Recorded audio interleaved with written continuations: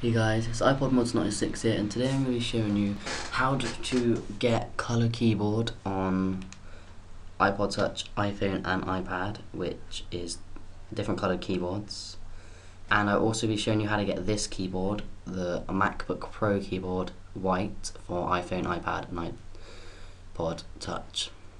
So you do need to be jailbroken and to, download color keyboard you're going to want to open up Cydia wait for Cydia to load. And you're going to want to go to manage sources edit and add and you're going to add this source.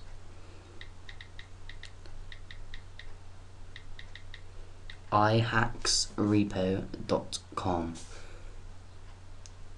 once you've added that source you're going to open it up and scroll down until you find color keyboard. There it is right there so you're going to download that. And under it are two themes, blue and red, and theme pack. This is the one I got. This you can get green and red, green and blue, and red, blue and green, and a multicolored background for the keyboard. But if you want the basic colors, pink and black, just download this one. So once you've downloaded that, you're going to go to settings, I'm going to scroll down until you find color keyboard. Click on it, click use on, and you want to sort of uh, select themes. Here I have more themes than you should have because I've downloaded a couple. The ones you should have is pink, more rounder, which makes your keys round, like overly circle shape, complex sample, blue, red, and green if you download the theme pack, and the same with blue and red and blue and green, and just a normal black. So choose the themes you want. Background image just covers this bit up down here, because if you do not have it on, you can see the dock through the keyboard when you're on the home screen. So yeah, so once you downloaded that, you can use it and respring and you can get those keys. But if you want this one the MacBook Pro you're going to want to go to settings and go to color keyboard again. It's boot logo sorry. Color keyboard and here is the website for color keyboard. You can either type it in or access it from here. So you want to click on it.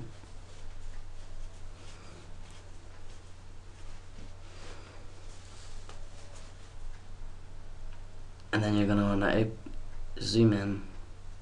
Oh, by the way, you're going to need Safari Download Manager for this, and you can get this from Cydia by typing in Safari space download space manager. So you're going to zoom in,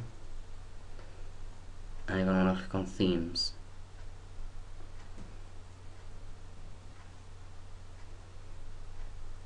Just wait for my iPhone, iPod to unfreeze, and you're going to want to click themes, and you're going to click open. So once the theme page is opened, there should be just one theme on there, MacBook Pro at the moment, and under it, it says download. You're going to click that, and you're going to click the red one here, download. So you're going to open this up here, and as you see, well I already have the MacBook Pro. So obviously once it's downloaded, you're going to go open an iFile. And once you've opened it in iFile, you're going to want to click zip, no, you're going to click cancel. And I'm just going to delete a couple of mine, the ones I already have. So obviously once you have the theme here, you're going to want to click edit we're going to click on the, the circle, circle box here and you're going to click this down here. And then we're going to click copy link and then you're going to click done. Go back to mobile back to VAR and scroll down and click on stash. Then you're going to click on applications.pwn and you're going to scroll down until you find color keyboard you're going to click color keyboard, click themes and here are all the themes you should have on color keyboard at the moment. So then you're going to want to click edit the top right. Click this down here and click paste. Once you've pasted it it should look a little like this. Theme underscore macbook pro dot zip. Click done. Click theme click the link you just downloaded. Highlight this click this little box down here and click extract file. So once you've extracted it it should appear here. So obviously now you have it and now you're going to want to go to settings select themes and here is MacBook Pro. This is the one I just downloaded so I don't need that. So there it is so obviously now you have MacBook Pro and you can just click on it and save and respring.